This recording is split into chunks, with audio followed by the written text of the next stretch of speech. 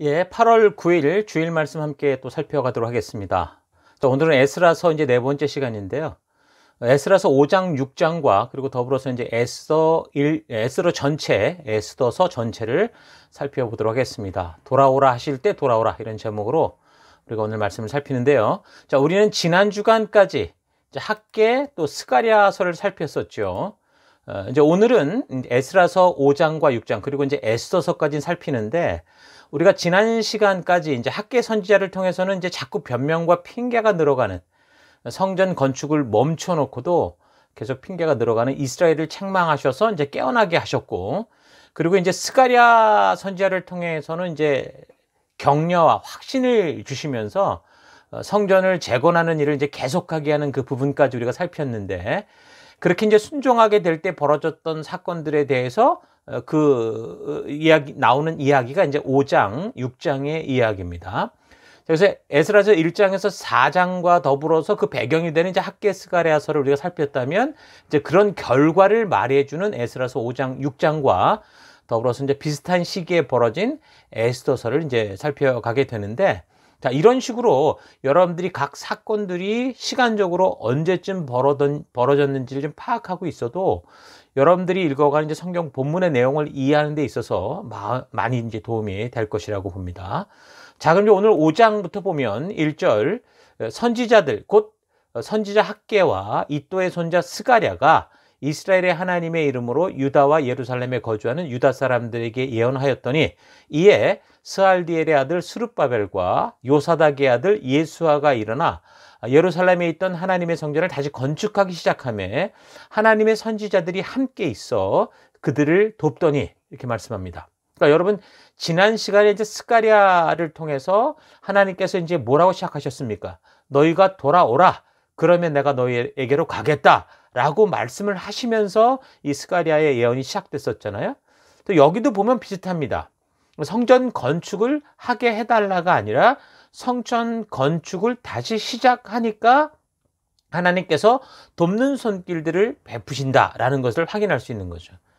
자, 그러니까 사람이 말씀대로 행해야 순종해야 그래야 선지자도 도울 수 있고 또 하나님도 어, 당신이 이미 시작한 것, 당신의 때가 돼서 일하고 계신 것을 확인할 수 있도록 그렇게 해주신다라는 거죠. 그러니까 하나님의 때가 돼서 이미 일을 시작하셨기 때문에 사람들이 함께 순종으로 나아가야 되는데 사람들이 행하려 하지 않으면 어, 사람을 통해 일하셔야 하나님은 일하셔야 하는 하나님도 어쩔 수가 없는 상황이 되는 거죠. 그러니까 이제 기도해야 될 때는 우리가 분명히 기도해야 되지만 기도가 아니라 순종해야 될 순간에는 우리가 순종을 해야 되는데 만약에 그때 기도를 하고 있다 그러면 아주 곤란한 거죠. 우리의 많은 기도들을 우리가 잘 점검해 보면 하나님이 하실 일이 아니라 우리가 이제 순종해야 되는 일인데 오히려 하나님께서 그것을 좀 대신 행해달라고 요구하는 것들이 사실 더 많다라는 것을 부인할 수가 없을 겁니다. 그러니까 말씀대로 행하는 삶이 되어야 하나님의 때가 되어 시작된 하나님의 역사를 우리가 볼 수 있다라는 거 잊지 마십시오. 자, 계속해서 3절 바로 그때 유프라테스강 서쪽 지방의 다뜨네 총독이 스달보스네와 동료 관리들을 데리고 그들에게 와서 누가 그 성전을 다시 지으라고 하였는지, 누가 공사 자재를 준비를 마치라고 하였는지를 물었다. 그러니까 유브라테스강 건너편은 이제 서쪽, 그러니까 이, 이, 이 팔레스틴 지역을 말하는 거죠. 거기를 말하는데 예루살렘 성전이 재건되는 예, 당시 그 유프라티스강 서쪽을 통과했던 그 이 총독에 대한 역사적 기록은 우시탄이라는 사람으로 나옵니다. 그 역사적 기록들이 남아 있습니다. 그러니까 BC 521년경에 바벨론인들의 그 한번 반란이 일어났다가 그게 진압이 되면서 페르시아 쪽에서는 자기들이 이제 통치 지역들의 모든 움직임에 대해서 굉장히 신경을 곤두세우고 그래서 각 관할 총독들로 하여금 그 지역민들의 동태를 면밀히 파악할 수 있도록 그렇게 명령을 했었습니다. 그래서 이제 자기들의 관할 구역 안에서 뭔가가 벌어지면 굉장히 촉각을 곤두세웠는데 예루살렘에서 이제 성전을 재건하는 일이 벌어지더라. 이제 이런 얘기를 들으면서 이제 그, 그것을 파악하려고 한 거죠. 자, 그래서 이제 그 반대하는 사람들이 오게 된 건데, 어찌됐든 이 하나님의 백성들이 어떻게 한 겁니까? 하나님의 말씀에 순종하기 시작, 시작을 했던 건데, 그런데 마침 또 이렇게 반대하는 그런 이 위협을 하는 일들이 벌어진 겁니다. 그러니까 하나님 말씀대로 순종하는 길에 서면 우리가 평탄한 길이라고 생각해서는 안 됩니다. 사탄은 항상 계속해서 이런 하나님의 순종의 길에 시비를 걸고 딴지를 걸고 시험에 들게 하죠. 그래서 우리가 하나님의 뜻대로 한번 결단하고 마음을 먹었는데 때마침 생기는 그런 어려움들을 보면서 아 때가 아닌가 보다 이런 식의 말을 하거나 그래서 쉽게 포기하거나 그래서는 안 된다는 거죠. 그래서 4절 그들은 또한 성전 재건을 돕는 사람들의 이름을 밝히라고 요구했다. 그러니까 그들이 와서 한마디로 위협을 한 거죠. 누가 니네 마음대로 이걸 하라고 했냐라고 말하는 겁니다. 근데 5절 그러나 하나님이 유다의 원로들을 돌보아 주셨으므로 아무도 그 일을 막을 수 없었다. 페르시아 관리들은 이 일을 다리우스 왕에게 알리고 회답을 기다리는 수밖에 없었다. 그러니까 수르바벨과 여호수아 제사장을 비롯한 성전을 재건하는 이 사람들이 더 높은 상급 기관에서 나와서 지금 협박을 하고 어, 그런 걸 가지고 딴지를 걸어도 이번에는 어떻게 한 겁니까? 뭐 처음에 그 이 돌아오자마자 성전을 짓다가 그렇게 주눅이 들어서 아무것도 못하는 그런 식으로 가지 않았고 오히려 믿음을 가지고 기죽지 않고 담대하게 이 사역의 정당성을 말했다는 거죠. 그러니까 관리들도 어쩔 수 없었다라는 겁니다. 그러니까 우리가 말씀대로 순종하는 자리에 담대히 서게 된다면 하나님이 이미 일을 시작하셨기에 이루어지는 그 역사를 볼 수 있다라는 거죠. 그러니까 하나님이 일하시는 역사를 우리가 성도들이 보지 못하는 이유는 뭐라는 겁니까? 우리가 담대히 맞서야 되는 것, 믿음으로 맞서야 되는 것을 그냥 기도를 통해서 자꾸 하나님을 시키려고 하니까 하나님을 동원해서 그 문제를 없애려고만 하고 정작 우리가 순종해야 되는 자리로 나아가지 않기 때문이다라는 겁니다. 그래서 우리는 어떻게 보면 그동안 너무 교회 안에서 뭔가 신앙적인 것 같은데 말씀적이지 않은 교육을 받아온 것을 알 수 있습니다. 그러니까 행하는 것은 믿음이 없는 것이고 기도하는 게 마치 더 믿음이 있는 것처럼 잘못 배웠다는 거죠. 성경을 자세히 읽어보면 행하는 믿음이 바른 믿음이다. 그, 그런 것들을 분명하게 성경의 역사 사건 자체가 보여주죠. 성경의 위인들이 대부분 그런 삶, 그러니까 믿음으로 용기 있게 말씀대로 순종하는 삶을 살아왔다라는 것을 우리가 알 수 있습니다. 그래서 우리는 항상 기억해야 되는 게 내가 지금 정말 기도해야 되는 때 그런 때에 있는지 아니면 기도가 아니라 이제 순종해야 되는 행해야 되는 때에 서 있는지 우리가 잘 분별해 볼 필요가 있습니다. 자, 지금 이제 주변에 방해하는 세력들이 위협을 하는데 지금 왜 백성들이 그럼 흔들리지 않고 이전과 같지 않게 담대할 수 있었는가라는 겁니다.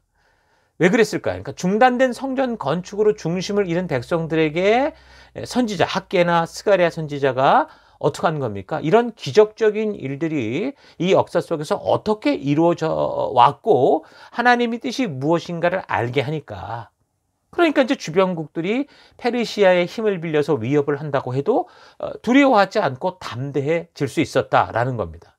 그러니까 이런 역사가 누구의 손에 의해서 흘러가는지를 알게 되니까 다시 말하면 성경과 역사를 바르게 알게 되니까 담대해지더라는 거죠.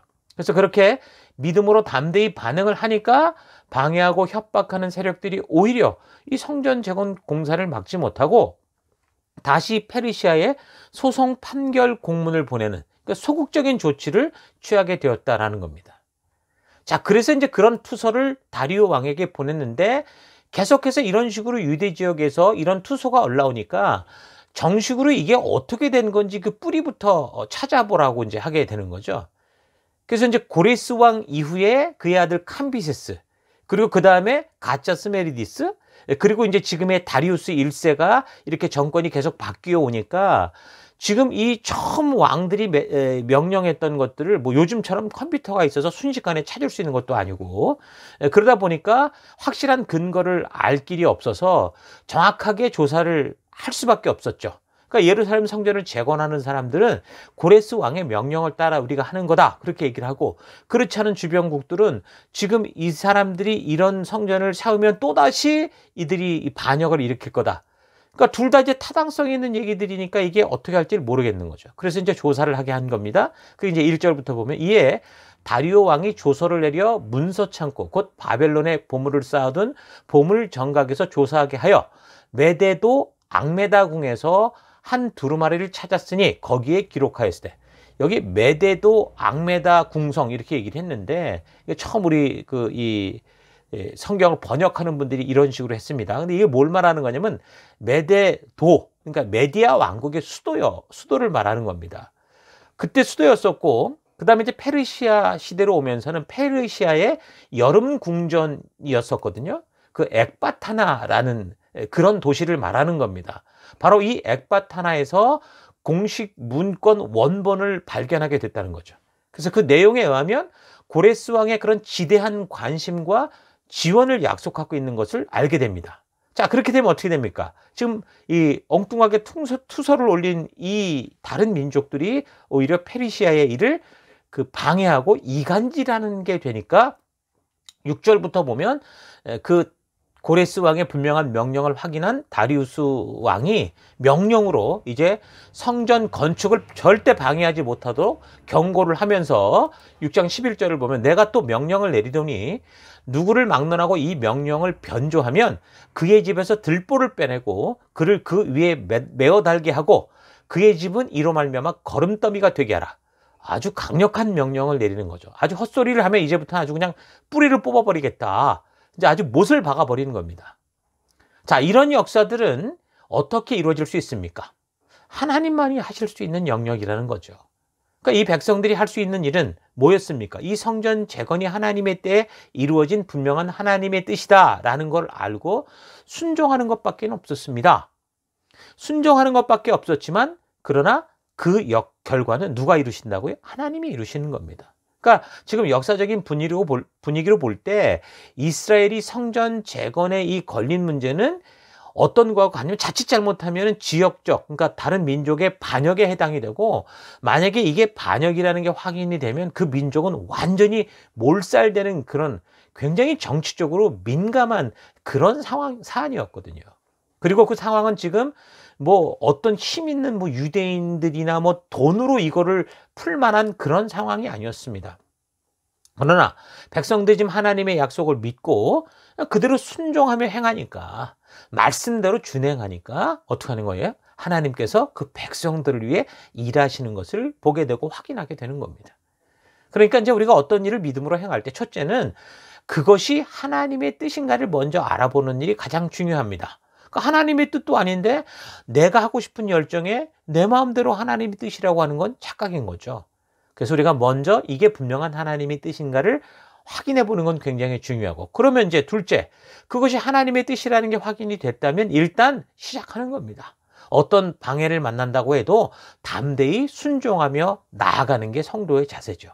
그래서 성도들이 두려워 말고 하나님의 뜻대로 순종하려고만 하면 하나님이 이미 그의 때가 돼서 이런 일을 시작하신 것이기 때문에 그래서 반드시 도와주시고 이 문제를 해결해 가시는 것, 이미 해결하신 것을 우리가 볼 수 있게 된다라는 거죠. 그게 지금 이 말씀을 두고 하는 겁니다. 자, 그래서 이제 성전 재건이 어떻게 되는, 이제 막힘없이 일사천리로 진행이 됩니다. 그래서 13절, 다리오 왕의 조서가 내림에 유프라테스강 건너편 총독 다뜨네와 스달보스네와 그들의 동관들이 신속히 준행하니라. 그러니까 이들이 방해하러 왔다가 오히려 이제는 돕는 자가 되는 겁니다. 아까는 해방하려고 나섰던 사람들이 왕의 명령이 준엄하게 내려오니까 이제 방해자가 아니라 협조자가 되더라는 거죠. 이게 누구의, 누구의 역사입니까? 하나님의 역사라는 겁니다.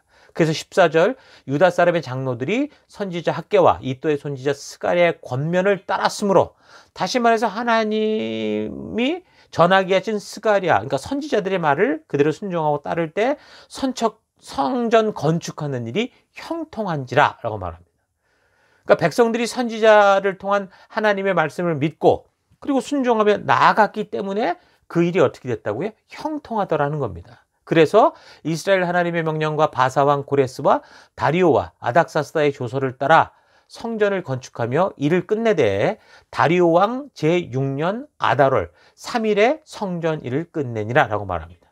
그러니까 다리오 왕 2년에 학계 선지자가 일어나서 도전을 했는데 다리오 왕 6년에 이 일을 마쳤다고 하니까 4년 만에 마친 셈이죠. 그러니까 BC 586년에 허물어졌던 예루살렘 성전이 BC 536년에 포로에서 돌아와서 재건을 시작하고 어, 그리고 멈췄다가 드디어 이제 BC 516년에 완성이 된 거니까 얼마가 걸린 겁니까? 포로에서 돌아온 그때로 따지면 20년 만에 드디어 완성이 된 겁니다. 자, 지금 보면 4년 만에 완성될 만한 성전 재건이었는데 포로 귀환 후 20년의 세월이 흘러갔다. 이거는 하나님의 때가 아닌 게 아니라 결국 이 백성들이 그만큼 어, 뭐 상황과 환경이 두려웠겠지만 어쨌든 불순종의 시간으로 그냥 길어졌을 뿐입니다. 하나님의 그 때를 그들이 순종하며 이루어가는 게 아니라 오히려 지체시키는 그런 결과였다라는 거죠. 그래서 하나님의 말씀대로 순종하는 삶에 있어서 우리가 우리에게 다가오니 방해나 어려움을 볼 때 우리가 하나님을 의심하지 말고 우리의 믿음의 담력을 키워서 좀 믿음의 선한 싸움을 싸워 나가면서 어, 핑계와 변명이 아니라 우리의 순종을 순종의 근육을 키우는 그런 기회가 될 수 있기를 바랍니다. 그러니까 꼭 잊지 말아야 되는 것은 하나님의 뜻이 확실하고 그것을 행하는 거라면 우리가 담대히 믿음으로 작은 한 걸음 한 걸음이라도 순종해 나갈 때 하나님께서 반드시 힘을 주시고 또 지혜를 주시고 또 돕는 손길도 주셔서 살아계신 하나님께서 직접 일하신다라는 것을 확인할 수 있다라는 거죠. 이런 것을 알 때 우리가 어, 순종의 힘이 더 생기지 않을까 생각이 듭니다. 그러니까 자기 자신이 안 하려고 하면 어떡하는 하나님도 도울 길이 없습니다. 이미 다 준비가 끝났는 이거를 주기만 하면 되는데 줄 수 없다라는 거죠. 그러니까 전도도 뭐 성장도 어, 하나님의 백성으로 이렇게 자라가는 것도 순종 없이는 잘할 길이 없습니다. 행할 길이 없어요. 영적인 어린아이가 청년이 되고 그 청년이 영적 아비가 되는 길은 그냥 교회당만 왔다 갔다 하면서 시간이 흘러가면 되는 게 아닙니다. 그 우리에게 주어진 시간 하루하루 그 세월을 따라서 우리가 말씀대로 순종하는 실패하고 넘어져도 또다시 일어서서 그 믿음의 길로 나아가는 그런 순종으로 채워져야 된다라는 거죠. 그래서 하나님께서 우리에게 순종을 요구하시는 것은 우리 우리가 하나님이 아니라 우리가 성장하고 바르게 자랄 수 있도록 하기 위한 거다라는 거 잊지 마십시오. 그래서 우리가 행할 바는 뭡니까? 울면서라도 가서 씨를 뿌리고 시작을 하면 성령의 도우심, 도우시는 그 역사들을 우리가 만나게 될 수 있는 겁니다. 자, 이렇게 이제 우리가 어, 에스더, 에스라 5장, 6장까지 살폈는데 6장까지가 이제 에스라 일부라고 그랬었죠. 앞부분이라고 그랬습니다. 그리고 시기적으로 보면 이제 이때 에스더서와 이제 우리가 역사와 이제 연결을 해서 볼 수 있는데요. 자, 에스더서, 그러니까 성경에 이게 여자 이름으로 일컬어진 이, 이 성경은 하나가 더 있죠. 룻기서, 그리고 이제 에스더서. 이 두 권입니다. 에스더란 이름은 별이라는 뜻의 페르시아 말로서 왕후가 될 때 이제 에스더가 받은 이름이고 히브리식 이름은 하다사, 그러니까 도금향나무 이걸 뜻하는 거거든요. 아, 자, 그런 에스더의 이름의 의미가 있고, 그리고 이제 에스더서의 저자는 누구인지는 확실히 잘 알지 못합니다. 다만 그 가까이서 그 상황을 잘 아는 사람일 가능성이 많다는 거죠. 그래서 이제 이 사건의 내막을 잘 아는 사람이 썼을 거로 추측을 하다 보니까 유대인 역사가 있던 요세푸스 같은 사람은 에스더의 삼촌이었던 이제 모르드게가 이걸 썼을 거다. 그렇게도 이제 말을 합니다. 이제 언제 어디서 왜 적게 되었는지를 우리가 이거는 이제 내용을 우리가 살펴가면 알 수 있습니다. 자, 그리고 전체적인 에스더서의 구조는 이제 화면과 같습니다. 항상 여러분 이 책을 읽기 전에 항상 큰 그림 이걸 보고 살펴가면 성경을 읽어가면서도 모르는 부분이 나와도 길을 잃지 않고 우리가 어쨌든 끝까지 바른 길로 갈 수 있을 거라고 봅니다. 항상 전체를 먼저 보고 확인하는 습관들을 잘 길렀으면 좋겠습니다. 자, 그래서 이 에스더서에 나오는 사건이 벌어진 이 역사적 시기, 언제 이런 일이 벌어졌는가라는 것을 이제 1절에서 이제 말씀을 해 주고 있는데요. 이 일은 아수에로 왕 때 있었던 일이니 아수에로는 인도로부터 구스까지 127 지방을 다스리는 왕이다. 127 지방이라는 게 한 그런 민족을 말하는 겁니다. 그러니까 127개 국가를 그가 다스렸다라고 보면 되는 거죠. 여기서 말하는 아수에로 왕은 다리우스의 아들로서 세계사에서는 이미 우리가 여러 번 살폈듯이 크세르크세스 이렇게 불리고요. 그 다음 이제 아하수에로의 다음을 잇는 아닥사스다 1세. 이 사람이 이제 세계사에서는 아르타크세르크세스 이렇게 나옵니다. 이 사람의 별명이 롱기마누스였는데 좀 팔이 길었던 것 같아요. 그래서 팔이 긴 사람 예, 그런 뜻으로 불리기도 합니다. 이 사람이 이제 에스라서 후반부 그리고 이제 느헤미야와 예, 이제 연결되어져 있는 그런 왕이라고 볼 수 있죠. 자, 그 다음에 이제 페르시아의 역사가 어, 크세르크세스 2세가 나오고 그리고 이제 소구디아누스 그리고 다리우스 2세 아닥사사 2세 그리고 3세 그리고 아르세스 그리고 이제 마지막 왕이 다리우스 3세입니다. 이 다리우스 3세가 BC 331년 헬라의 알렉산더 대왕에게 이제 끝장나죠. 패망함으로 말미암아 페르시아의 역사가 끝장이 나는데 그게 이제 200년 정도의 페르시아의 역사가 이래서 무너지게 되는 거죠. 그래서 페르시아의 역사에 가장 전성기라고 볼 수 있는 것은 성전 재건 소송을 마무리한 이 마라톤 전쟁의 주인공이었던 다리우스 1세 그리고 이제 지금 살피는 에스더와 관련된 아수에로 이제 크세르크세세 크세르크세스 이 왕의 시기가 페르시아 역사로 보면 가장 전성기라고 볼 수 있습니다. 자, 페르시아는 이 고레스 때로부터 어, 다리우스를 비롯해서 땅에 대한 욕심이 좀 유난히 많았던 것 같습니다. 이 아수에로 그러니까 크세르크세스를 역사적으로 살펴보면 예, 아버지 그 다리우스 1세가 아, 그리스를 침략했다가 마라톤 전쟁에서 지게 되잖아요. 근데 그랬는데 이제 그 욕심을 그대로 이어받아서 이 아들도 그리스 정복을 이루려고 엄청난 군대를 일으킵니다. 이건 뭐 벌써 몇 번을 우리가 지금 듣고 있는데요. 역사의 아버지라 불리는 헤로도토스의 기록을 보면요. 이 아시아에서 이게 데리고 간 군사만 육군과 해군을 합쳐서 230만 명. 그리고 이제 지배국들에서 차출한 군대가 260만 명 정도라고 했었으니까 그렇게 보면 거의 뭐 520만 명 정도의 군대를 일으켰다. 그렇게 적고 있습니다. 이제 크세르크세스가 그리스 정복을 위해 벌였던 이 처음 전쟁은 뭐였습니까? 이 우리가 잘 아는 것처럼 300이라는 그 영화의 실제 이야기도 이야기이기도 한 테르모필레 전투였었죠. 이 테르모필레 전투에서 아주 처음에 고전을 했습니다. 그러다가 결국 이제 승리하게 되는데 그 기세를 몰아서 그리스의 수도가 아테네 아닙니까? 그래서 아테네까지 진격을 하는데 이미 뭐 아크로폴리스에 이 불을 질러버리는 것, 아, 이 아테네 진격을 해서 아크로폴리스 상징적인 도시의 그 핵심에다 불을 질러버리기도 했지만 근데 뭐 이미 그 전에 아테네 주민들 모든 사람들이 다 작전상 다른 곳으로 피해버리고 난 후였죠. 그래서 뭐 승리는 잠깐뿐이었고 이제 그 이후에 이 사람은 계속 패전을 거듭하기 시작하는데 그 첫 번째 결정적인 패배가 어, 우리가 잘 아는 이제 살라미스 해전입니다. 그래서 이 전투에서 어, 페르시아는 그가 자랑하던 함대의 3분의 1을 잃어버렸죠.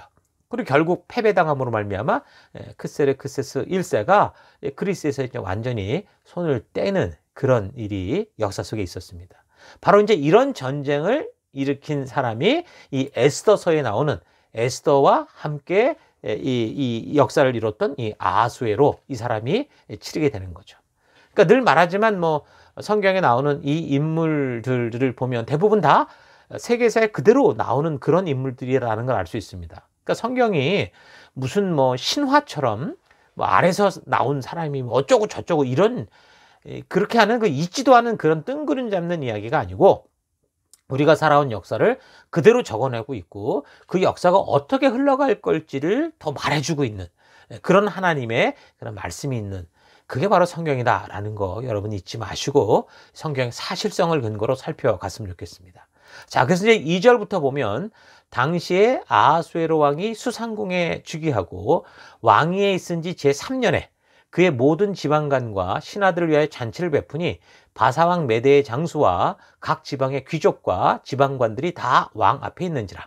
그러니까 페르시아 메대의 군대 장군들을 불렀는데 이 장군들은 어, 보문을 보면 이제 2천 명의 창병 그리고 2천 명의 기병 그리고 1만 명의 보병 총 1만 4천 명의 병력을 거느렸던 지휘관을 말하는데 그런 장군들을 모았다라는 거죠. 이런 걸 보면 아마도 이 잔치는 대규모 이제 그 그리스 원정, 조금 전에 살폈던 그리스 원정을 떠나기 전에 위로하고 격려하는 차원에서 벌였던 그런 잔치 같습니다.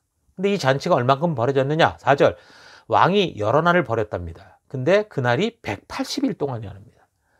그러니까 대단한 거죠. 뭐 그냥 조금만 나 조금만 했어 그러면 조금만이 아니 아니라는 거예요. 여러 날 했어. 그럼 며칠이 아니라 180일, 6개월 동안 잔치를 했다는 겁니다.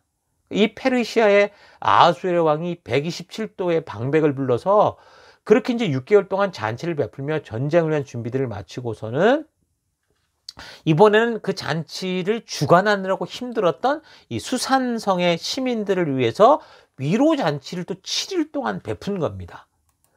그러니까 5절 이날이 지남에 왕이 또 도성 수산에 있는 귀천간의 백성을 위하여 왕후 왕궁 후원들에서 7일 동안 잔치를 베풀세.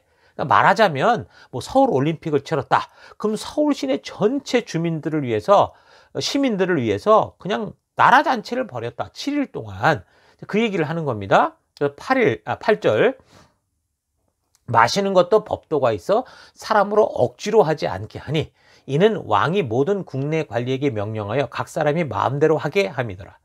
왕후 와스디도 아수에로 왕궁에서 여인들을 위하여 잔치를 베푸니라. 그러니까 왕은 왕대로 어, 그런 정치적인 일을 했다면 왕후도 내조하는 차원에서 또 이제 여인들을 위한 잔치를 베풀었다라는 거죠.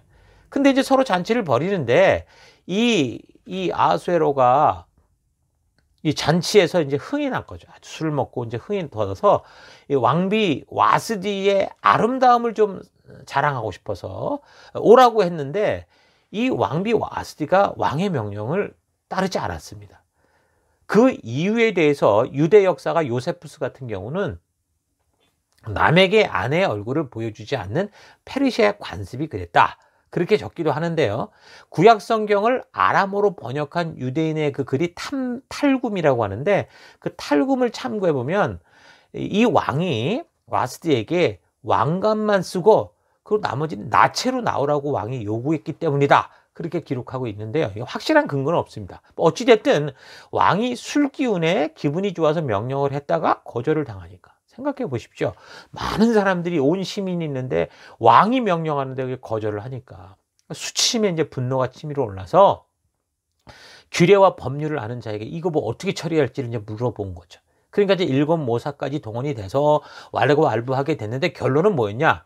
이 여자가 왕의 명령을 듣지 않고 멀쩡하다면 한마디로 페르시아 모든 집안에서 여자들이 남편을 우습게 여기게 될 거다. 이런 식으로 얘기가 모아진 겁니다. 그래서 다시는 이제 왕 앞에 오지 못하게 하는 그런 조소를 내려버리게 되는 거죠. 21절. 왕의 무무관의 말대로 행하여 각 지방 각 백성의 문자와 언어로 모든 지방에 조서를 내려 이르기를 남편이 자기의 집을 주관하게 하고 자기 민족의 언어로 말하게 하라 하였다. 그러니까 완전히 이제 여, 자들을 이제 짓누르는 그런 상황이 벌어진 거죠. 왜 이런 일이 벌어졌습니까? 지금 본문을 보면. 한마디로 그냥 술을 먹어서 그러는 겁니다. 그러니까 왕후 와스디도 자기가 베푼 잔치에서 아마 술이 취했겠죠. 왕도 취했고 신하도 취했고 뭐 왕비도 취했고 그러니까 술은 이 뇌의 신경 전달 물질을 자극을 해서 즐거운 기분을 느낄 수 있도록 또 하는데 또 술을 마시면 충동적인 경향이 심해지잖아요. 그래서 평소 참을 만한 그런 일들, 뭐 이성으로 해결할 그런 일, 들도 그런 작은 자극을 받아도 폭력, 욕설, 그리고 이상한 행동들을 하게 되죠. 그런 건 보이게 되는 겁니다. 그러니까 8절을 근거로 해서 보면 아마도 술을 마시는 그 양에 아까 규칙이 있었다고 그랬습니다. 그럼 마음대로 뭐 자기가 원하면 마시지 말라. 그렇게 했지만 그걸 거꾸로 보면 어떻게 되는 겁니까? 마시고 싶은다는 마음대로 마셔라. 이런 거 갖고 똑같은 게 되잖아요. 그러니까 결국은 술이 이런 결과를 만들고 말았다라는 겁니다. 여러분 성경은 항상 술에 대해서 조심하도록 이야기하고 있는 게 대부분입니다. 다들 술이 들어가면 무슨 용기가 생기는 줄 아는데 그게 아니고 판단력이 흐려져서 헛짓거리를 하게 됩니다. 그러니까 요즘에 그 음주운전에 대한 기준을 잘 보십시오. 왜 그렇게 합니까? 얼핏 보면 한 잔 먹어서 아무것도 아닌 것 같고 자기는 괜찮은 것 같지만 정말 이건 감당할 수 없는 엄청난 일들이 벌어지잖아요. 이건 과학적으로 증명된 거 아닙니까? 그러니까 술 자체가 기분이 좋게 할 수는 있을지 모르나 분명히 이거는 사람을 온전케 하는 건 아니라는 거죠.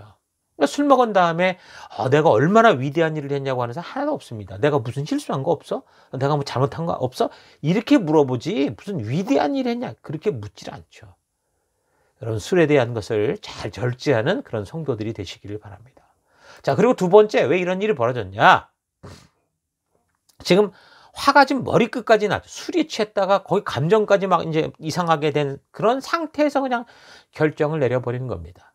다 술을 먹고 취했는데 거기에다가 감정까지 치밀어 올라서 예, 그때 이제 욱하는 감정으로 그 일을 다 처리해 버린 겁니다. 화가 나고 감정이 곤두섰을 때 절대 무슨 선택이나 결정을 바로 해서는 안 됩니다. 이것도 반드시 후회할 일들을 만들고 말죠. 다들 술 먹고 판단력을 잃고 이 곤두선 감정으로 인해서 실수하고 결국 땅을 치고 후회할 일들을 하게 되는 겁니다. 화나 분노가 극도에 올랐을 때 이 감정적으로 온전하지 않을 때 절대로 여러분 어떤 결정을 하지 않는 그 참 지혜로운 거죠.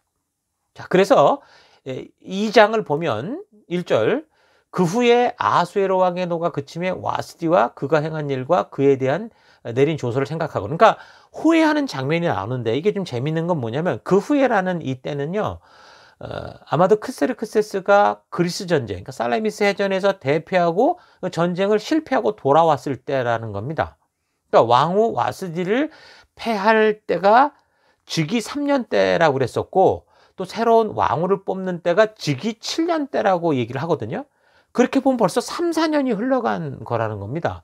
그럼 성경이 지금 한 장이 넘어갔지만 그 후에 뭐 그 일 후에라는 거는 이런 식으로 적혀졌다고 해서 우리가 종종 우리가 살펴봤지만 바로 그 앞 사건과 연결된 거라고 무조건 이렇게 단정 지으면 아닌 경우 단정 지으면 안 되는 경우가 많다라는 거 잊지 마십시오. 그래서 우리가 자꾸 성경과 역사적 배경을 우리가 자꾸 살펴가는 겁니다. 그렇게 더불어 살펴야 이 이 그 본문의 상황들을 정확히 알 수 있고 그래야 온전히 우리가 말씀을 해석해 나갈 수 있는 거죠. 그러니까 그리스와의 전쟁 그리스와의 전쟁 이전에 잔치를 벌이면서 이런 사건이 벌어 일장의 사건이 벌어진 거고 그리고 이제 시간이 3, 4년 흘러서 전쟁이 끝난 후에 이제 아하수에로 왕이 전쟁 전에 그 벌어졌던 일을 생각하고 이제 후회를 하고 있더라는 겁니다. 그게 왜 그렇다고요? 술 먹고 감정적으로 어, 이렇게 결정을 하면 이런 일이 생긴다 그 말입니다. 그래서 어떤 일을 처리할 때 반드시 온전한 정신도 아닌 상태에서 또 감정이 곤두선 그런 상태에서 여러분 절대 뭔가를 결정하고 일을 처리해 나가서는 안 된다라는 거죠. 자, 그래서 어찌됐든 이제 새로운 왕후를 다시 뽑게 되는데 이제 그때 에스더가 등장을 하게 되는 거죠. 이 왕후를 뽑는 일에 에스더, 에스더가 스스로 뭐 이렇게 등장된 것도 아니고 뭐 길거리 캐스트, 캐스팅된 것도 아니고 에스더의 삼촌이었던 모르드게라는 이 사람이 이 에스더를 이 등장을 시키는 겁니다. 이 에스더가 아마 부모님이 일찍 돌아가신 것 같아요. 그래서 이 삼촌이었던 이 모르드게가 아마도 그 부모가 죽으니까 이제 양녀로 삼아서 양육을 해온 것 같습니다. 그래서 이 모르드게가 에스더를 아수에로 왕의 그 왕후를 뽑는 그 일에 이제 참가시키는 거죠. 근데 그때 당시 이제 뭐 민족이 여러 민족이 섞인 어떤 그런 다민족 국가였기 때문에 사실 어떤 면에서는 뭐 다민족 국가이기 때문에 포용력이 넓은 것 같지만 그래도 뭔가 이 권력의 중심에는 항상 자기의 혈통만 중요시하는 게 있습니다. 그래서 출신 성분이라는 게 여러 가지 사회생활에 많은 영향을 주는 그런 시대였기 때문에 그래서 이제 이 모르드게가 에스더에게 이제 자기가 유대 출신이라는 사실을 절대 말하지 않도록 그렇게 합니다. 어쨌든 그래서 미스 페르시아를 결국 뽑게 되는데 보니까 거의 1년이 걸려요. 뭐 왕 앞에 나가는 걸 준비시키는 게. 그렇게 1년이 걸려서 결국 왕 앞에 나가게 했는데 거기서 이제 어, 에스더가 어떻게 됩니까? 왕으로 간택이 되는 거죠. 17절을 보면 왕이 모든 여자보다 에스더를 더 사랑하므로 그가 모든 처녀보다 왕 앞에 더 은총을 얻은지라 왕이 그의 머리에 관을 씌우고 와스디를 대신하여 왕으로 삼은 후에 그러니까 아마도 포로가 되어 잡힌 유대인으로서는 가장 높이 출세한 게 이 왕후 에스더였을 겁니다. 아무튼 이런 일들이 벌어지고 난후 어, 어, 그리고 이제 모르드게는 이제 이 좋은 위치가 될 수도 있었겠죠. 어쨌든 왕가 왕후 뭔가 왕후가 이제 조카였었으니까 에스더였으니까 모르드게는 그런 부분 안에서 이제 왕과 소통할 수 있는 그런 어, 열린 그런 상황에 있었다라는 건데 마침 모르드게가 왕을 막 암살하려는 그런 음모를 발견하고 그 에스더에게 말을 해줘서 그거를 이제 무마시키는 일이 있습니다. 21절을 보면 모르드게가 대궐 문에 앉았을 때에 문을 지키던 왕의 넷이 빅단과 데레스 두 사람이 원한을 품고 아하수에로 왕을 암살하려는 음모를 꾸미는 것을 모르드게가 알고 왕후 에스데, 에스더에게 알리, 알리니 그래서 이제 이, 이, 어, 이 암살 사건이 무마가 되는 거죠. 근데 이제 이것 때문에 뭐 큰 포상을 받거나 그런 일은 없었지만 이 궁중 일기에 그러니까 나라의 어떤 그 일들을 적는 그 역사에는 그대로 기록이 됐다. 아, 그렇게 이제 성경이 적고 있습니다. 그리고 이제 3장으로 넘어가면 그런 일 후에 이제 아하수에로 왕이 하만이라는 사람을 페르시아 제국이 제2인자로 추대하는 장면이 나옵니다. 자, 이 하만이라는 사람이 누구냐면 어, 옛날부터 유다 민족을 괴롭혔던 그이민그 족속 중에 가나안 족속 중에 하나 아말렉 족속이 있었는데 이 아말렉 족속의 왕 아각이라는 사람이 있었습니다. 그때 사울 왕보로 어, 이 아말렉 족속을 다 멸하라고 했는데 이 사울 왕이 가가지고서는 이 아각이라는 왕도 잡아오고 좋은 짐승도 잡아다가 다 이제 막 하나님께 드리겠다 이런 식으로 했다가 막 큰일 난 적이 있었거든요. 예, 그 사람의 후손이었습니다. 그러니까 왕이 이 사람을 다른 모든 대신들보다 더 높은 자리에 앉힌 거죠. 자 그러면서 궁중의 모든 관리들에게 예, 언제나 하만 앞에서 무릎을 꿇고 절을 하라고 이제 명령을 한 겁니다. 그래서 이제 왕의 신하들은 모두 그렇게 했는데 이 모르드게만은 그 사람에게 무릎도 꿇지 않고 절도 하지 않는 겁니다. 그러니까 이런 사실을 어, 알, 알게 된 이제 하만이 분노가 이제 폭발하는 거죠.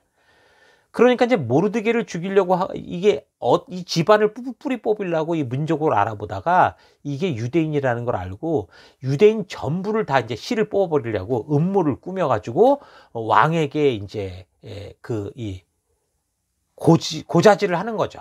그래서 예, 이 유대인들이 왕의 이 법률을 지키지 않습니다. 그래서 이 족속을 좀 다 없애버려야 된다. 그렇게 이제 진언을 해가지고 그러라고 이제 허락을 받았습니다. 그래서 이 하만이 이런 조서를 이제 내리게 되는 거죠. 이에 그 조서를 어, 역졸에게 맡겨 왕의 각 지방에 보내니 열두 잘째 곧 아달월 13일 하루 동안에 모든 유다인을 젊은이, 늙은이, 어린이, 여인을 막론하고 죽이고 도륙하고 진멸하고 또 그 재산을 탈취해라. 엄청난 명령을 내리는 거죠. 지금 이 127도 역졸이라고 하면 이제 한번 역 이게 뿌려지게 되면 127도로 이제 모든 이 페르시아 전체의 유대인들을 다 씨를 뽑아버리겠다 이제 그렇게 하는 겁니다. 아주 이제 근동 지역 전체에서 이 완전히 유대인의 씨를 말려버리려고 했다라는 건데 마침 그 마치 그저 이집트에서 노예로 있을 때 태어나는 남자아이를 죽이는 이것보다 더한 짓이었죠. 근데 이게 어떤 짓을 한 겁니까? 하만이 알고 했던 모르고 했던 하나님의 살아계신 역사를 증거하고 있는 이 민족을 싹 쓸어버리려고 했다라는 거죠. 이렇게만 봐도 사탄의 음모라는 거 우리가 잘 알 수 있습니다. 그 하나님의 근거, 하나님을 알 수 있는 모든 근거를 싹 없애려고 해버렸다라는 결과가 된 겁니다.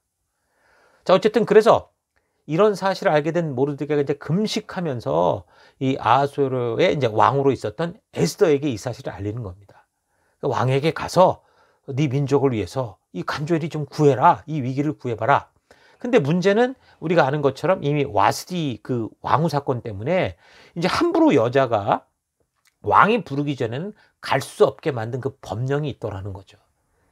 그래서 왕에게 갈 수 있었던 것은 뭐 관련된 페르시아의 그뭐 이건 모사들이나 어쨌든 그런 사람들이 포함됐을 뿐이지 함부로 왕후가 뭐 그 누구라도 왕에게 막 갈 수가 없었습니다.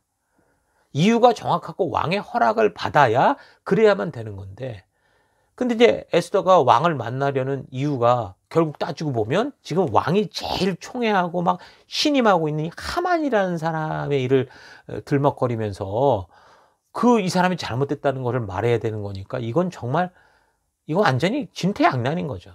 거대, 거기에다가 4장 11절을 보면 왕이 지금 에스더를 안 본 지 30일이 넘었다는 겁니다. 그럼 뭐냐면 정사가 너무 바쁘거나 아니면 다른 여자에게 빠져 있었다라는 거죠. 그러니까 에스더를 기억하지 못하고 있었다라는 게 그것 자체도 두려운 겁니다. 그러니까 이거는 사실 정말 별일 없으면 죽는 거죠. 이게 말이 좀 이상한데, 그러니까 그런 상황에서 에스더가 그렇게 나아간다면 거의 죽을 확률이 90% 이상이다라는 그런 상황이라고 볼 수 있습니다. 근데 이제 고민 끝에 어떡합니까? 그가 믿음으로 결단합니다. 어떻게 요 죽으면 죽으리라. 그렇게 결심을 하고 3일을 금식한 후에 왕에 나아갑니다. 5장에 나오는데 제 3일에 에스더가 왕후의 예복을 입고 왕궁 안뜰 곧 어전 맞은편에 서니 왕이 어전에서 전 문을 대하여 왕자에 앉았다가 왕후 에스더가 뜰에 선 것을 본즉 매우 사랑스러움으로 손에 잡았던 금규 홀입니다. 금규를 그에게 내미니 에스더가 가까이 가서 그 금규 끝을 만진지라 왕이 이르되 왕후 에스더요 그대의 소원이 무엇이며 요구가 무엇이냐 나라의 절반이라도 그대에게 주겠노라. 그러니까 여러분들도 이게 지금 보면 선을 보러 가거나 뭐 중요한 일을 할 때 여러분 다이어트를 하든가 하루 이틀 뭐 굶고 나가지 않습니까? 왜냐하면 3일 예, 금식을 하면 이게 굶어 죽지는 않습니다. 금식을 할 때 꼭 죽을 것 같지만 절대 그렇지 않아요. 금식을 하면 오히려 가장 연약해 보이면서 예뻐 보입니다. 우리도 다이어트를 하다 보면 좀 살이 빠질 때 이렇게 사람이 홀쭉해지면 어떡합니까? 뭔가 사람 나가 보일 때가 많이 있잖아요. 더 훨씬 나아 보이잖아요. 그런 거였죠. 근데 원래 미녀였는데 거기에 금식을 하고 나가니까 왕이 한눈에 그냥 혹 빠진 거예요, 또. 왕의 눈에 너무 예뻐서 그냥 왕이 막 소원을 말해보라고 막 그러면서 노래를 부르는 겁니다. 에스더가 이렇게 어떻게 하는 거예요? 목숨을 걸고 나가기 전까지는 정말 많은 갈등이 있었죠. 죽을 줄 알았던 겁니다. 근데 죽음을 각오하고 어떻게 하는 거예요? 그렇게 나간 거거든요. 그러니까 어떻게 보면은 참 하나님의 명령이 있으면 담대하게 나가면 되는데 왜 저럴까? 그렇게 생각할 수 있지만요. 여러분, 사람은 그렇지 않습니다. 그러니까 믿음이 있는 사람들도요. 그 어려운 그 목숨을 내놔야 되는 특별히 그런 순종의 순간에는 갈등하고 두려워하고 어려워합니다. 여러분, 순종 앞에서 두려워하고 갈등하는 거, 그, 그 자체가 나쁜 건 아닙니다. 우리는 연약하고 작은 존재이기 때문에 이, 상, 이 세상을 살아가면서 정말 두렵고 감당할 수 없는 일들이 얼마나 많은지 몰라요.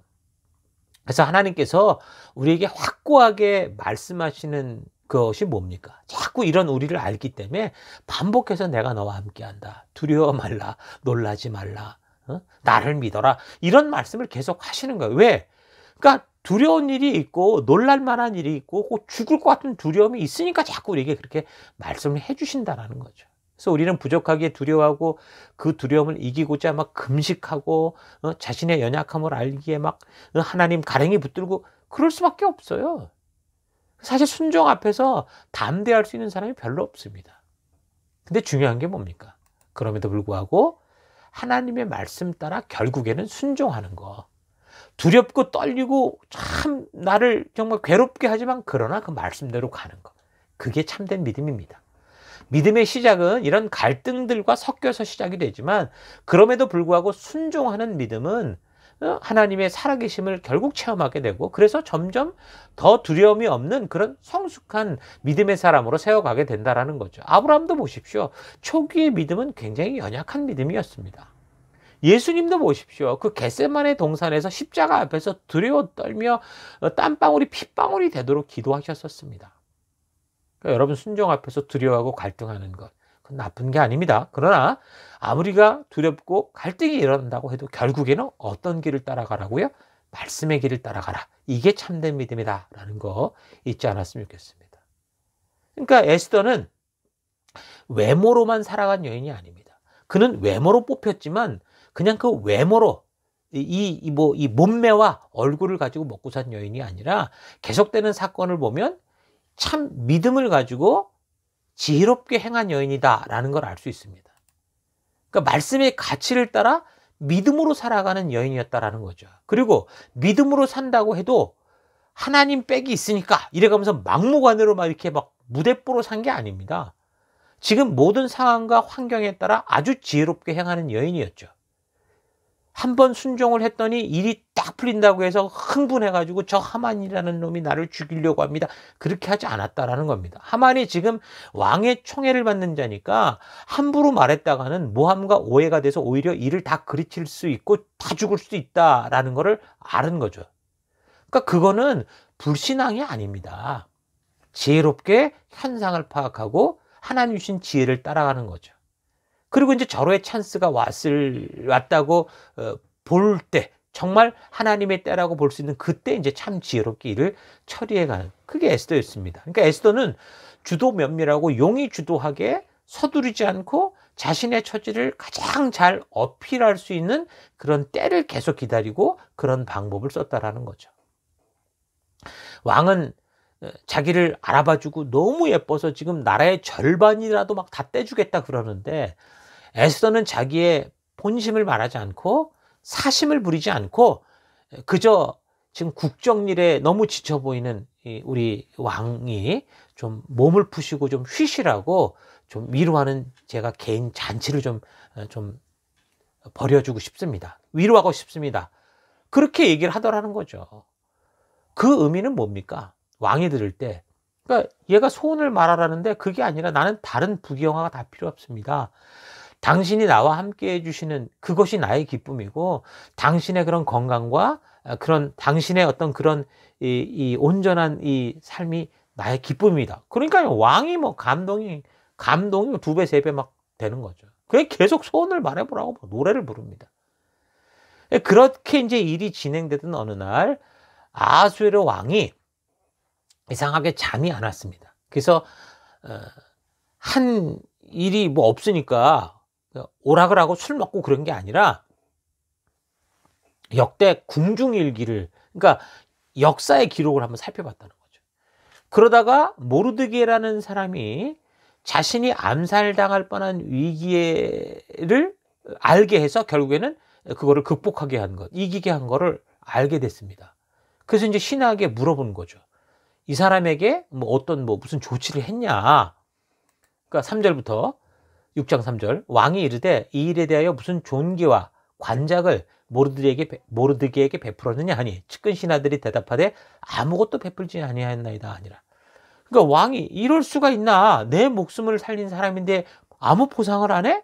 그러면서 이제 그 사람을 찾는데 마침 하만이라는 그 사람이 왕에게 오고 있었어요. 왜냐하면 4절을 보면 왕이 이르되 누가 뜰에 있느냐 하면 마침 하만이 자기가 세운 나무에 모르드게 달기를 왕께 구하. 그러니까 모르드게를 죽일 그런 모든 사형 기구, 유대인들을 죽일 그 모든 준비를 이, 이 도륙, 살육할 준비를 마치고 그거를 이제 최종 그 이 결정을 얻으려고 왕에게 오고 있었어요.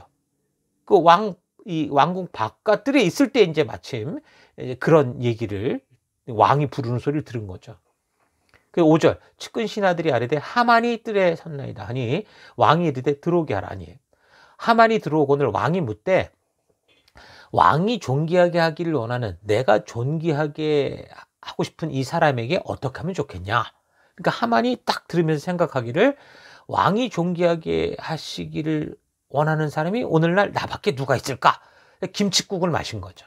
그 7절 왕께 아뢰되 왕께서 사람을 존귀하게 하시려면 왕께서 입으시는 왕복과 왕께서 타시는 말과 머리에 쓰시는 왕관을 가져다가 그 왕복과 말을 그 왕의 신하 중 가장 존귀하게 하고 싶은 그 사람에게 씌우고 입히고 해서 그 말을 태워서 성중 거리로 다니면서 바로 이 사람이 왕이 가장 존귀하게 여기는 사람이다. 그렇게 외치게 하는 게 어떻겠습니까? 이제 그렇게 얘기를 한 겁니다. 그러니까 자기라고 착각을 하고 완전히 혼자 김치국 마시고서 이제 한껏 들떠가지고 이제 최고의 대우를 받을 그 건의를 한 겁니다. 근데 10절.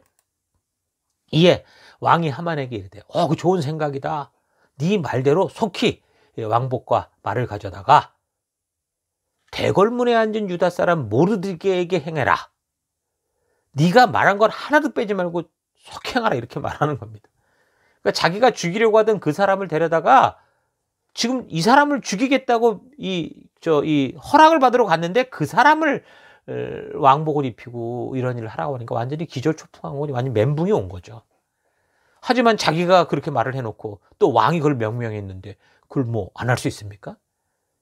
그러니까 11절 하만이 왕복과 말을 가져다가 모르드게에게 옷을 입히고 말을 태워 성중 거리로 다니며 그 앞에서 반포하되 왕이 존귀하게 하시기를 원하시는 사람에게는 이같이 할 것이다 아니라 자 그래서 이제 정신이 완전 반쯤 나가서 혼비백산하고 있는데 이 왕의 내시들이 와서 하만을 데리고 에스더 왕후가 베푼 잔치로 어, 데리고 가는 겁니다. 그래서 그나마 아마 이, 이 하만 같은 경우는 자기만 특별히 초대를 받는 거니까 좀 마음을 추스릴 수 있었을 것 같아요. 근데 이제 바로 그 자리에서 무슨 일이 벌어지는 겁니까? 에스더가 비로소 말을 합니다. 자기를 죽이려고 음모를 꾸몄던 사람이 바로 저 사람이다. 왕 앞에서 울어버리는 거죠.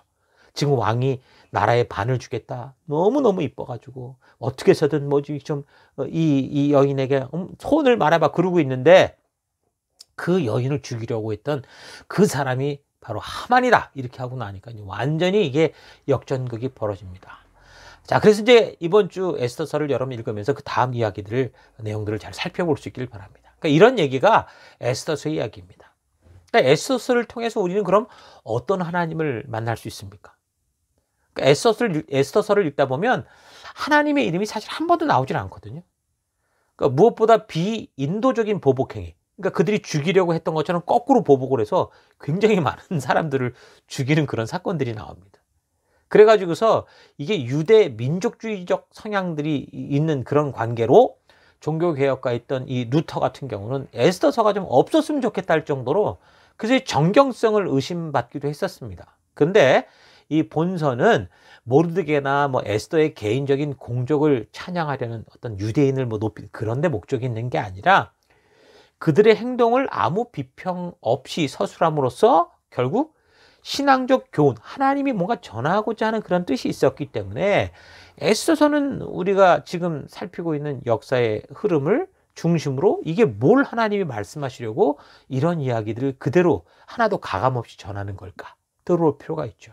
그래서 그렇게 역사적인 연결을 통해 살펴보면 사실 이런 위급한 사건들은 하나님의 역사로 고레스 왕을 통해서 포로들은 다 예루살렘으로 돌아가라고 할 때 그때 어떻게 했다는 거야? 어렵고 힘들어 다 순종하고 돌아왔어야 되는데 그러지 않아서 생긴 일이다 라는 것을 지금 알게 해주는 겁니다. 그러니까 놀랍고 기적적인 명령이 나기는 했지만 돌아가라 조국으로 돌아가라. 근데 바벨론에서 그들이 70년을 살면서 이제 어렵게 정착하고 살 방법을 찾았을 때 그때 그 터전을 다 버리고 다시 새로운 시작을 한다는 것은 정말 모험이 아닐 수 없었죠. 네? 포로라고 해도 그 당시 최고의 도시에 산 거 아닙니까? 가장 이 발달된 이 세계에서 가장 발달된 그런 도시 바벨론의 그 편안한 도시 문화에 젖어 살고 있었는데 이 고생 끝에 막 고생 끝에 예? 뭔가 이제 이제 살만한 터가 어느 정도 잡히기 시작했는데 뭐 평안을 위해서 다시 뭐 그 위험하기도 하고 황폐한 그런 땅으로 가자 그러니까 가라 그러니까 솔직히 예, 가고 싶은 사람이 많지 않았다는. 그래서 이제 우리가 아는 것처럼 그 고레스 명예 명령이 나고도 가는 사람을 그렇게 또 천발하고 준비하는데 막 1년 이상 걸렸다 그랬잖아요. 말하자면 이런 거죠. 지금 뭐 최고의 뭐 세계 도시라고 하면 뉴욕, 뭐 미국의 뉴욕이라고 그럴 수 있는데 뉴욕에서 뭐 완전히 자기 터를 딱 갖고 뭐 빌딩도 갖고 이런 사람들이 지금 내전과 종교 전쟁 때문에 극심한 그 시리아로 가라 그러면 그 가고 싶겠습니까? 시리아, 이번에 레바논에서 엄청난 폭발 사건이 났는데 그런 데로 가라 그러면 누가 가겠냐고요. 그러니까 이제 뭔가 이건 가긴 가야 될 것 같은데 또 이제 그러고 싶진 않으니까 뭐 애들 교육 핑계 아직 어리다 뭐 우리가 뭐 몸이 약하다 뭐 생존의 문제가 있다 사업의 문제가 있다 직업의 문제가 있다 뭐 건강의 문제가 있다 그러니까 뭐 장가 가야 되고 소도 사야 되고 뭐 이런 식으로 해서 막 각자 많고 많은 그 타당한 이유들을 대면서 지금 하나님이 돌아갈 때를 딱 말씀해 주셨는데 가지 않겠다 결정했던 사람들이 거기 많았다라는 거죠. 우리가 지난주에 살피지 않았습니까? 그들의 그 이 스가랴서의 그 백성들을 살폈을 때 스가랴 선지자를 통해 살폈을 때 돌아오지 않은 그 백성들을 향한 원망하는 마음이 있었다. 5만 명이 와가지고 거기서 무슨 나라를 세워갑니까? 다 와야 되는데 거기서 그러지 않고 있는 사람들에 대한 원망하는 마음이 있었다고 그랬잖아요. 그러니까 그들은 하나님이 가라 하는 그 때에 가라 하신 그곳으로 갔어야 됐다라는 겁니다. 이게 성경이 우리에게 말해주는 거죠. 우리가 아무리 구중궁궐의 편안함과 안전이 있다고 해도 뭔가 잘 풀리고 사람들이 뭐 많이 모인다고 해도 그곳에 하나님이 계시지 않으면 아무것도 아닙니다. 그 웅장하고 대단했던 예루살렘 성전, 금으로 다 처발랐던, 금으로 다 뒤집어 씌웠던 예루살렘 성전도 하나님이 계시지 않으니까 다돌 위에 돌 하나도 남지 않고 다 파괴되고 말지 않았습니까? 그래서 우리 성도들은 안정적인 걸 찾으려고 하는 게 아니라 하나님 계신 곳을 찾아야 되는 겁니다. 믿는 사람들은 그 마음 중심에 그래서 언제라도 우리가 있던 것을 떠날 수 있는 아브라함과 같은 나그네의 마음을 가지고 살아가야 됩니다. 그렇지 않으면 이 세상의 것들에 자꾸 애착이 생기고 그러다 보면 하나 두 개 이렇게 뭐 준비하고 만들고 이러다 보면 도저히 버릴 수 없는 그런 상황이 떠날 수 없는 상황. 그래서 이 오순절 그 이 사건 이후에 그 이제 결국 AD 70년에 로마에서 완전히 파괴되잖아요. 근데 그 전에 예, 교회 밖의 사건 때문에 웬만한 이 성도들이 다 그 이 예루살렘에 있지 못하고 다 떠나버렸었거든요. 세상으로 흩어졌는데 그때 떠나지 않은 사람들이 누구냐면 그 예루살렘에 자기 땅, 자기 이, 저, 이 돈이 있는 사람들이었습니다. 결국 그렇게 남아있다가 어떻게 된 겁니까? 불과 2, 3년 후에. 그렇게 해가지고서 이 로마의 그런 이 포위 공격으로 완전히 죽는 그런 일이 생긴, 생긴 거죠. 그래서 포로된 유대인들이 그런 이유로 그 땅에 그냥 주저앉아서 여러 가지 핑계를 대고 살다가 까딱하면 이 페르시아 광대한 땅 전역에서 유대 민족 전체가 전멸당할 뻔한 거죠. 떠나라 할 때 떠났어야 되는데 거기에 남아있다가 결국 그 사람들 때문에 자기들 땅, 자기네 어떤 재산, 자기들의 위치를 지키려고 하다가 어떤 일이 벌어진 겁니까? 자기만이 아니라 온 세계 속에 순종하면서 하나님께 본토로 갔던 사람들까지 완전히 다 그냥 한날 한순간에 다 죽여버릴 죽음에 처하게 할 그런 위험한 짓을 한 거죠.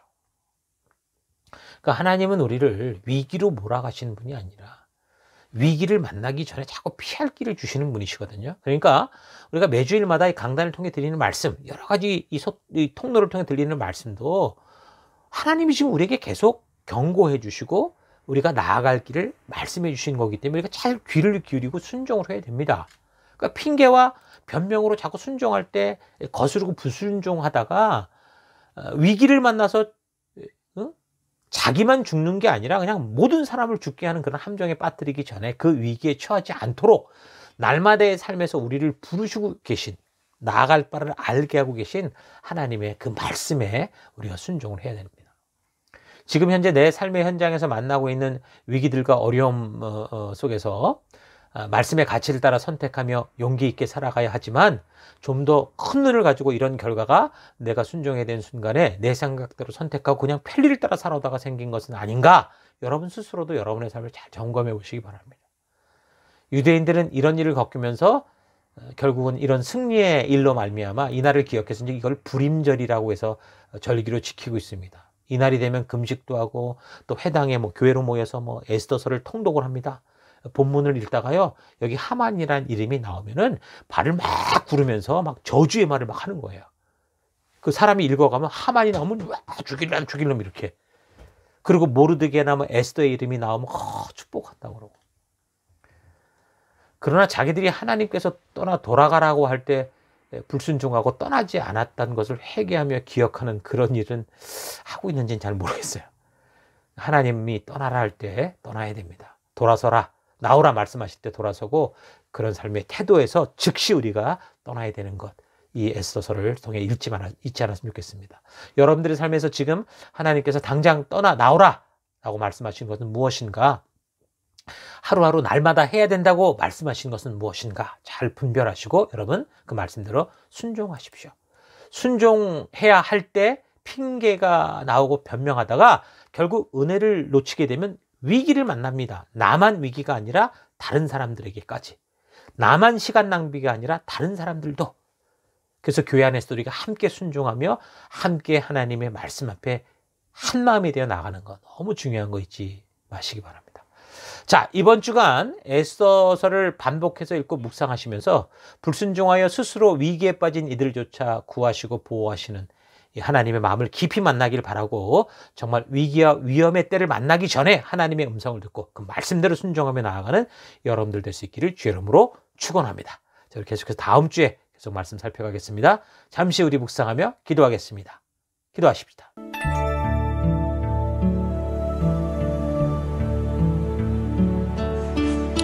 예, 우리가 말씀대로 행하기 시작할 때 하나님의 일하시는 그 놀라운 역사를 보게 될 겁니다.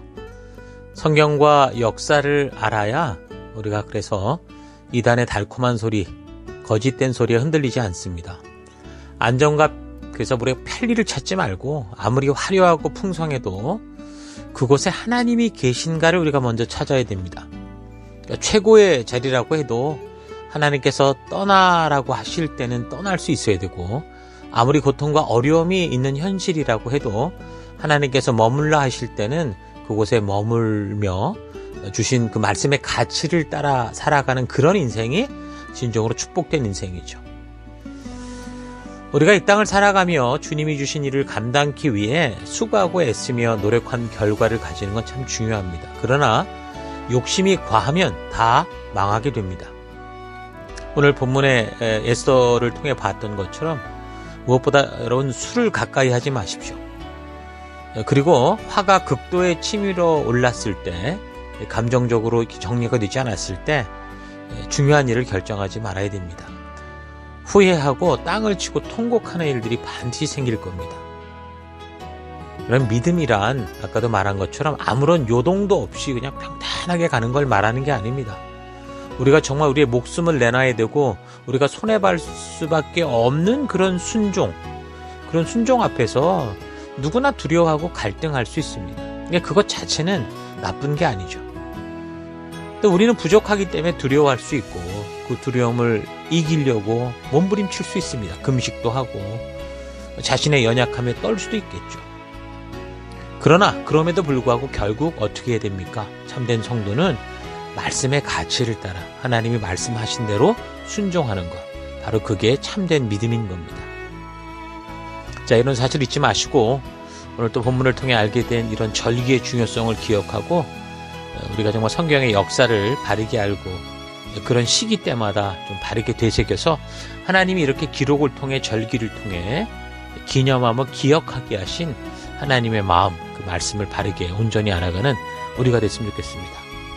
한 주간 여러분들이 또 이 말씀을 붙들고 여러분들이 처한 그 현실 속에서 어, 정말 에스더서에 하나님의 이름이 하나도 나오지 않지만 하나님의 분명한 메시지가 우리에게 들려오는 것처럼 여러분이 선 그곳에서 어, 과연 나는 하나님의 말씀을 따라 이렇게 순종하고 있는가를 잘 분별하여 주님의 그 부르심과 음성을 따라 떠나기도 하고 머물기도 하고 잘 이겨갈 수 있는 여러분과 제가 됐으면 좋겠습니다. 제가 말씀을 생각하며 잠시 기도하기 원하는데요. 시간 기도할 때 하나님 내가 먼저 말씀대로 순종하지 않고 하나님을 이용하려 했던 것을 회개합니다. 용서해 주옵소서 기도하시고요. 좀 더 편안하고자 게으른 모습이 돼서 순종하지 않고 핑계와 변명을 일삼고 어, 지체들을 정죄한 것 하나님 용서해 주옵소서 요동치는 마음을 탓하지 않고 그럼에도 불구하고 결국 믿음 따라 말씀대로 선택하며 순종하며 나아가는 내가 되기 원합니다. 외모를 가꾸는 인생, 스펙을 늘리는 인생이 아니라 마음을 가꾸어 어, 말씀의 중심을 찾고 하나님 그래서 위기 속에서도 하나님 어떤 위기 속, 속에서도 담대히 믿음 따라 살아가는 내가 되기 원합니다. 그 길로 인도하신 하나님 나와 함께 하여 주옵소서 하나님만을 바라봅니다. 이 시간 다 같이 잠시 묵상하며 기도하겠습니다. 기도하십시다.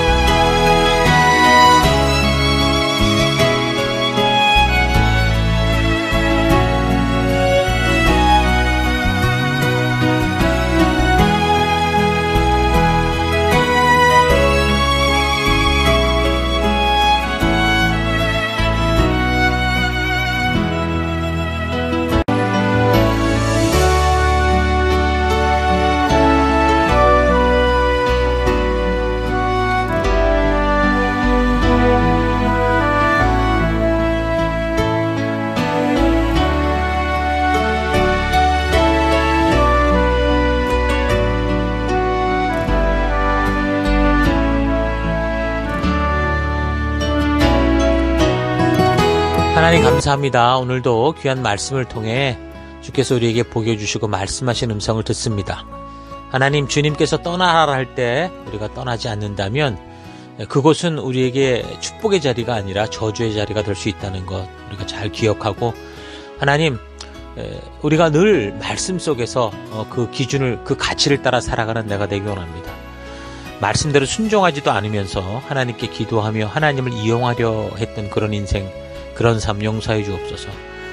주님이 가라 하시는 좁은 길이 아니라 좀 더 편안하고 게으른 모습으로 살고자 순종하지 않고 핑계와 변명을 일삼아오던 그리고 지체들에게 핑계와 변명을 대고 정죄를 했던 삶 회개합니다. 용서해 주옵소서. 하나님 내가 순종의 자리에 갈 때 요동치는 마음이 있을 겁니다.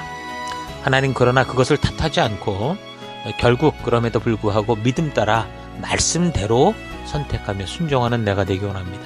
이 땅을 살아가며 하나님 오늘 이 시대에는 외모나 스펙이 너무 중요한 인생이지만 하나님 그러나 외모를 가꾸고 뭐 스펙을 늘리는 인생 아니 그 이전에 먼저 하나님 마음을 가꾸고 하나님의 말씀으로 하나님 담대히 서서 어떤 위기 속에서도 우리 주님이 주신 그 길을 따라 걸어갈 수 있는 내가 되기 원합니다.